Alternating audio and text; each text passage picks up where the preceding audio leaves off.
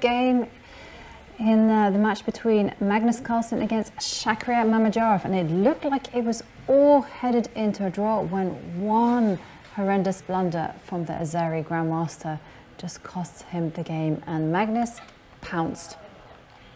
Wow. So is he, he's nearing towards that uh, goal of 2900. Is he? Yeah, it's a long road, but he's certainly doing well. He was already winning classical rating before this game in this tournament. He lost to Armageddon, so his score didn't look that dominant, but he's doing well in the classical and winning another white game. Had he converted that very good position against Wang Hao, could be even better.